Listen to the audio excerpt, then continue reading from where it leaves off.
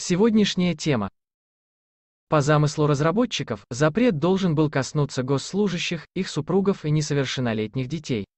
Коммунисты предусмотрели и исключение, выезд на лечение по официальному направлению, полученному в Минздраве в порядке общей очереди.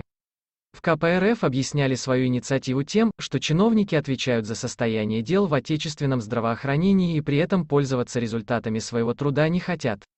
Улетают лечиться за границу. Здоровья вам! Ставьте лайк и подписывайтесь.